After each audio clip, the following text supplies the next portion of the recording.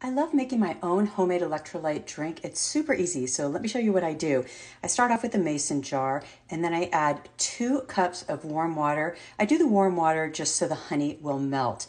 And then after I add the water, I add Celtic sea salt and I add I add a quarter teaspoon, but you can do an eighth teaspoon to a quarter teaspoon of Celtic sea salt.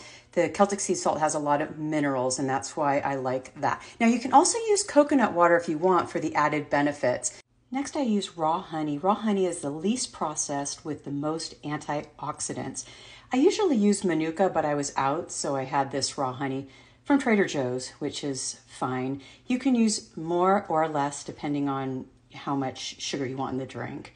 And then I'll add lemon, and lemon is the best citrus fruit to use because it acts as an electrolyte. So take your mason jar, cover it up, shake it up, and put it in the refrigerator. You can store it up to a week.